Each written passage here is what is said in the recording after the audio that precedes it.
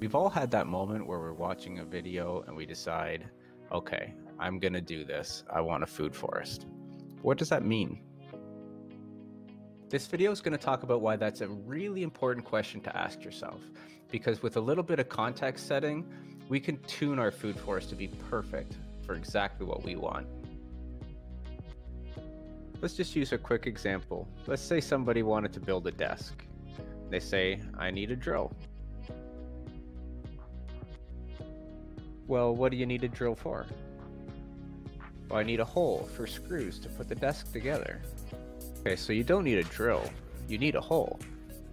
And you don't even need a hole, you need a desk. And you don't even need a desk, you need something to put your computer on. And where are your priorities? Is it to make and grow healthy food? Eat a bunch of salads? Is it fruit and nuts? Is it wildlife habitat? Is it climate change? Why are you doing this? Maybe you actually do want a food forest, but maybe you want something a little different.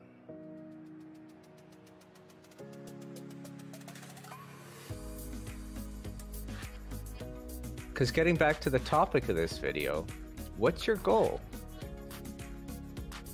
Because two people who both say they want a food forest might have drastically different goals. One person might just want to grow very nutritious food to offset some of what they would buy at the supermarket and do so in a sustainable or even regenerative permaculture way. Whereas someone else who says they want a food forest might be going fully off grid, buying some land, putting a house on it, and then supplying most of their food as much as possible with a food forest garden. And one of the best things about a forest garden is that they turn your house from a liability into a revenue stream. So you can do market gardening, you can do livestock. There's a whole bunch of options where now all of a sudden your house isn't something that takes money out of your bank account, something that puts money into your bank account. And because of that, a forest garden has the ability to leverage yourself into freedom like nothing else. So it's really important that we get the design right from day one. It's important to understand also that what works for someone might not work for you. Everybody's got stuff they can't control, whether it's the climate, the geography, neighbors, or the government. For myself, I started a food forest because I wanted to attract nature. But depending on where you live, that may or may not come with additional constraints. Maybe inviting wildlife in is not the smartest thing if you're in bear country. And who knows where that trophic cascade leads. And if your goal is to get food for your family and you have limited space, then maybe gardening in a way that invites rabbits into your garden might not be the best idea. Maybe they multiply and take over, and you get nothing. And I say I don't like fences, but if you live in Australia, where everything's upside down and wants to kill you, then maybe fences are actually a pretty good idea. If you do decide though, a food forest can be life changing.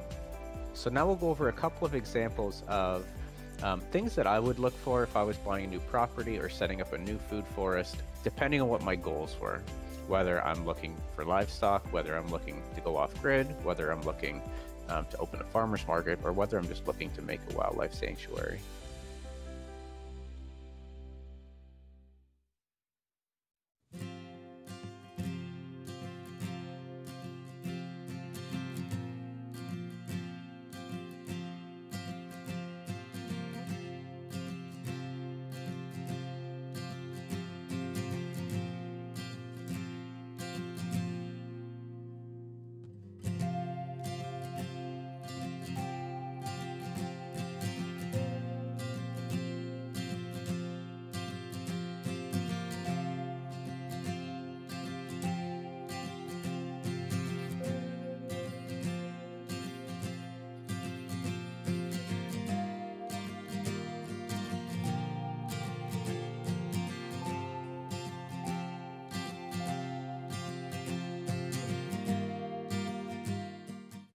Now what I'd like to do is go through things that if I were starting a brand new project on a brand new piece of land, things that I would look for as the top priorities when selecting the site for my future project.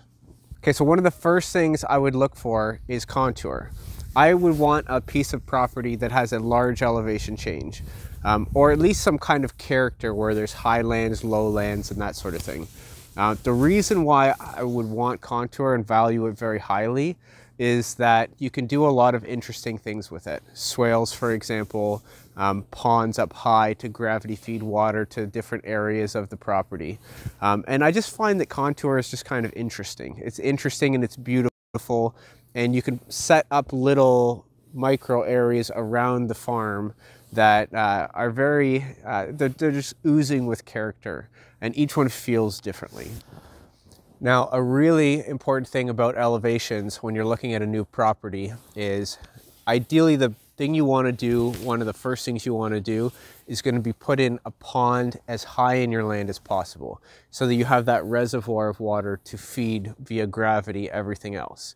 Now, depending on the shape of that land, your high point might be on a ridge, for example.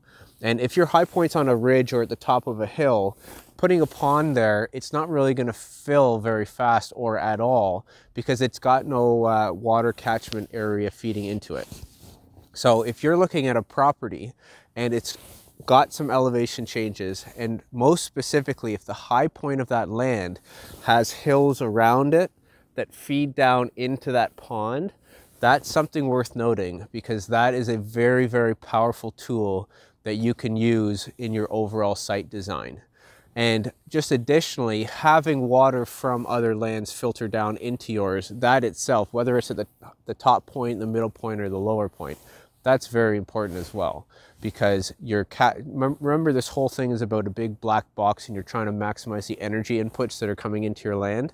It's really important that energy from outside of your land specifically water is coming in towards your land and you can harvest and capture that so if you're looking at a new property and you've got a high point with land that filters and catches water and funnels it in towards your high point of your land, take note because that is worth noting.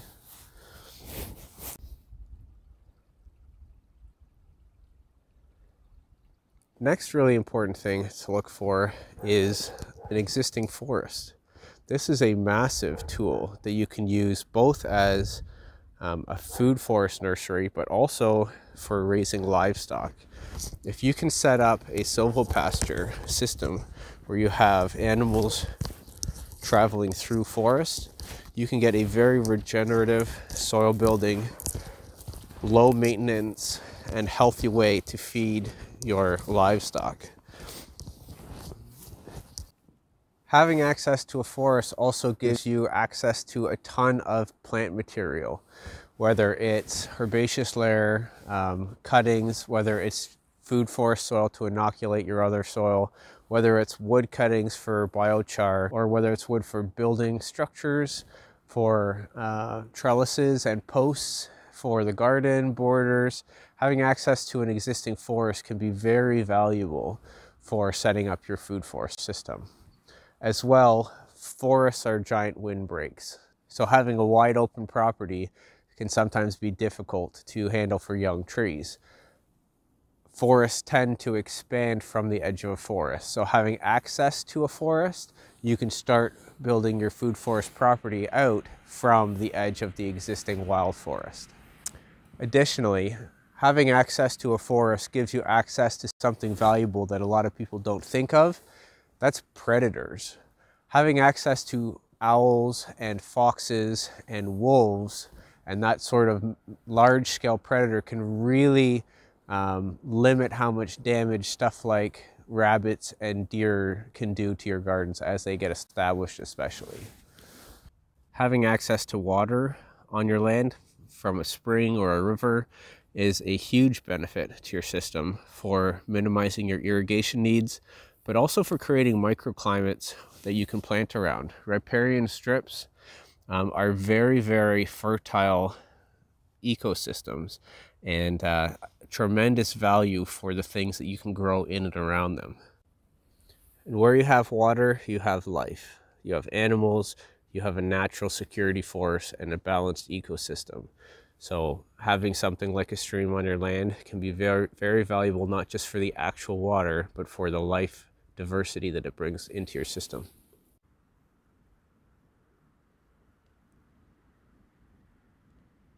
Location is obviously super important as well. And it's not that being more remote is better, being inside of a city is bad, but make sure it lines up goals of your project. So if your goal is to off-grid it and have a self-resilient homestead style back to the land type of movement and change in your life, getting a little further out from the city is very good. If you're trying to raise livestock or market garden and you need access to people to sell your goods to, being out in the middle of nowhere is not doing you a whole lot of good. For me, we're kind of a nice little balance. We're about five minutes from a decent sized town, but even that, being that far out, it's very hard for me to sell anything that I produce. I have stuff at the end of my driveway, um, but, and you know, some people come by and pick that up, but being closer to an urban environment, I could sell stuff a thousand times easier. If your goal is around building community and having people over to your place, maybe uh, having workshops, maybe teaching cooking, showing gardening techniques.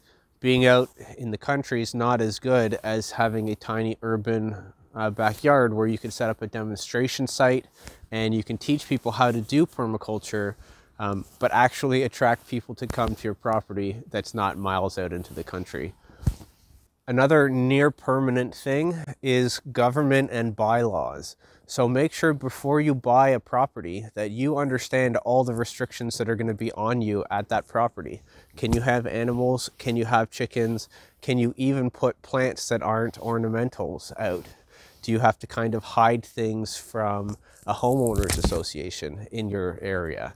So make sure that you look into all of that because sometimes you can get this wonderful property. You wish you could do um, chickens or goats or pigs and you find out that you can't even have rabbits.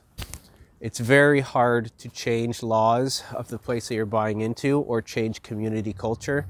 Um, it's a little easier on the latter. Law is a little less uh, easy it's a lot easier to just pick a different property that's maybe more in an area aligned with the things that you want to do on your property. Okay, another thing is check out farms around you. Check out to see if there's any sources of manure um, that you can tap into. Check out to see if there's a giant community project like a wood chip pile that you can tap into.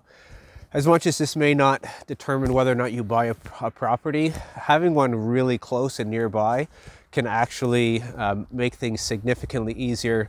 And it's just another thing that's worth noting when you buy your place on a similar vein as that, um, see if the township that you're buying into has any kind of conservation authority program because sometimes they'll offer free trees and you get high value trees like oaks and walnuts and hickory um, for free from or, or at very cheap prices from your local municipality.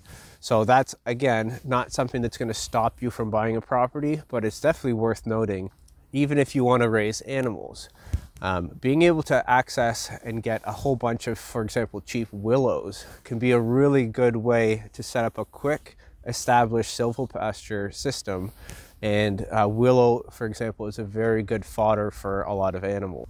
And if you're establishing a very large system, getting cheap willows and acorns and chestnuts and hickory nuts to feed to your pigs and goats and sheep and chickens um, can be very, very valuable.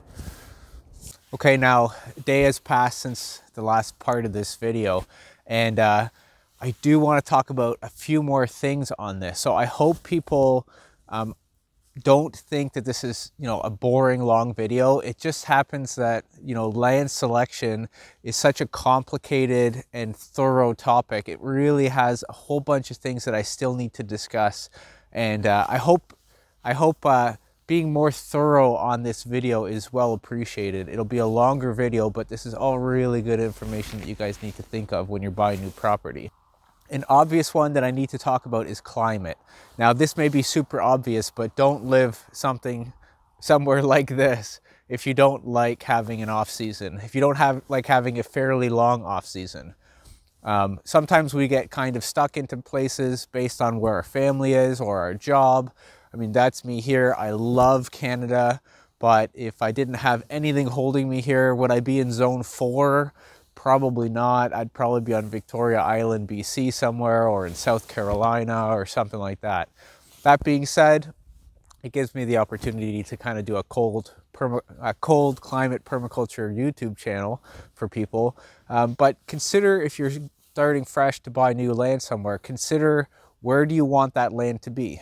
Consider climate. Now, adding on to that, every single place on this planet has certain natural disasters that are more likely to happen in different areas.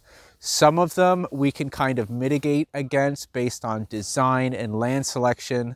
Um, some we just really can't. So for example, when you're buying a new property, assess stuff like tornadoes, flooding, ice storms, and fire, um, earthquakes, that sort of thing. You can't really do a whole lot about something like earthquakes, but you can do a whole lot about something like flooding.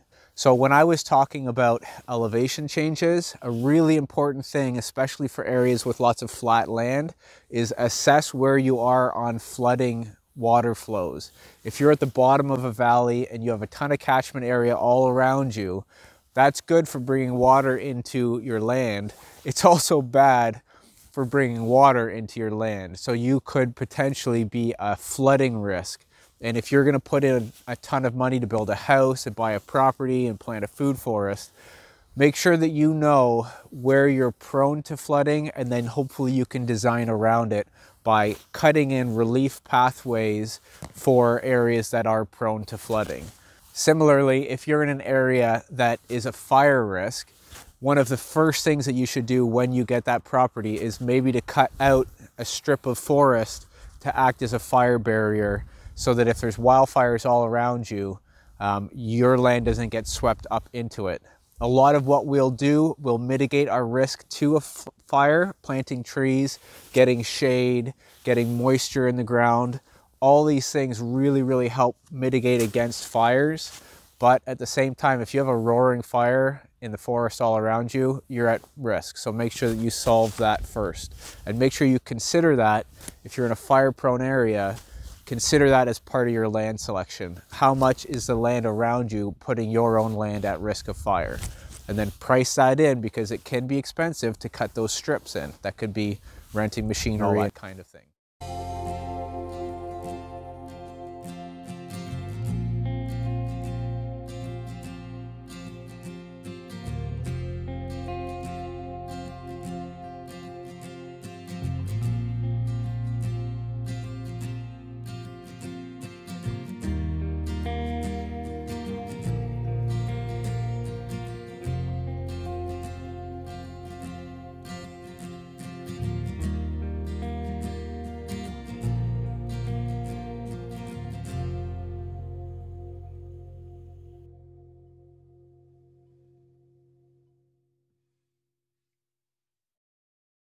Okay, so now what I want to do is talk about, um, based on your goals for your property, what are some of the things that you should look at based on what we talked about already about getting up and established really quick. So one of the first things that you should do when you buy your new property. Okay, so let's start with probably what's going to be the most common thing that people do is just off-gridding, home styling, setting up a new homestead, moving out from the city, starting up permaculture journey. Let's talk about that. Okay, so first off, priorities in the land for something like that. Number one, I think, has got to be water. Water access, having some kind of river, stream, pond, something like that on your property is probably the number one thing you should be looking at. Close behind it, number two, and I would say this is also a mandatory thing, make sure that the bylaws and the government um, that you're moving into allow you to do the things that you want to do. This is kind of pass fail. If you want to raise chickens and you can't have chickens, don't start trying to petition the local government to change those laws. Just look somewhere else. Now, if you're starting your journey as an off-grid or homesteader, one of the things that you're going to need to access is energy. Can you grid tie? Are you going to go solar? As far as one of the first things you should do when you get set up sort out your power, sort out your water, sort out your sewage, sort out all that stuff, get a septic drilled and get your house built and all that sort of stuff. Once you've done that, try to come up with a site plan where you know you're going to have house gardens, food forest gardens, maybe ponds. Try to get those ponds high up uh, in the land as you can. But then what you really want to do is you want to have something close to your house. Don't make a mistake of ignoring the permaculture zone philosophy. And that's not USDA agriculture zones. That's, you know, zone zero is your house, zone one is close to your house, zone two, you're there kind of once a week, zone three, you're there maybe kind of once a month, zone four, you're there once a season, and zone five, you're never there. Don't build all your food forest stuff way out in zone five. So get your, or zone four, zone three even. Get your design set up, figure out where you're going to have a kitchen garden, a food forest strip, and as a high priority, sheet mulch that area. Even if you're not going to plant in it for this year, get that area cardboard, compost, cardboard, compost, wood chips, and get it sitting. You want to start that as soon as possible, building that soil turning over from grassland to forest land so you can get trees planted. Let that kind of soak for a bit, and then where you know you're going to have food forests, get that started as soon as you can. But then spend the next year or two observing your land and let that mold and modify your design. And as you're letting it mold and modify your design, try to start with earthworks. Try to start with developing ponds and swales because these are near permanent things that are going to be around for a really long time. So get those sorted out in the right place, which takes time to kind of absorb, learn your land. Um, but the sooner you can get those things in place, the healthier your overall food forest is going to be. So it's a balance. You don't want to be paralyzed with analysis. You don't want analysis paralysis. But you don't want to just jump in there and start building swales and ponds and all that kind of stuff and you do them in the wrong area. And then now you wish you could have moved your pond somewhere else to gravity feed it or whatever. And now it's a giant expensive problem that you've got to deal with. So just avoid those kind of type 1 errors. Okay, subset to the off-gridding is if you want to do a animal-based system, like you want to do something like Mark Shepard with you know, cows on contour, or cows in pastures, rotate them through your land, follow them with sheep, follow them with chickens, that sort of mentality, that kind of thing, then one of the first things you should be looking for, obviously, is open space, but at the same time, access to a forest. Now, if you can get access to something like an oak forest, something that's got an edible fodder crop, willows, chestnut, hickory, that is a tremendous boon because what you should be looking at for that system is to transition your animal system into a silvopasture system. Silvopasture is basically animals walking around the forest and it has tremendous benefits for soil building and it has tremendous benefit for meat health and animal health and just ecosystem. Um, cows go from, as an example, they go from one of the worst carbon emitters on the planet in a traditional open field style grazing system and in a silvopasture system where they're grazing inside the forest, they're moved constantly. Um, they're actually become a carbon sequestering machine and the linchpin species uh, for health of the environment and the ecosystem. Most of the really healthy farming lands were built off of ro roaming bison, so you want to replicate that. So that might mean access to a forest, that could be a really big priority for your land selection. Um, it would mean having space for the animals at the beginning so you can get them there, but then you want to be planting trees and getting that ecosystem going so that you can run your cows, your sheep, your pigs through the forest and not through open grasslands. So consider access to a forest if you're adding animals into your system. Okay, so now let's say you're going for a market garden style property. Two most important things that I would look for if that's what I wanted to do. I wanted to move out to the country and become a farmer. I wanted to generate an income from this, and the income was going to be based on selling food. Probably the first thing I'm looking for is open land. I don't want to just buy a forest and transition a food forest because you need to get income coming in right away. So I would want open land, good south facing exposure, and you need a market. So consider where you're putting your house. You need access to people to sell your food to. So you need a market to sell to. Additionally, having access to water on the property um, is going to be a tremendous boon for if you're going to be growing lots of green leafy water hungry style vegetables.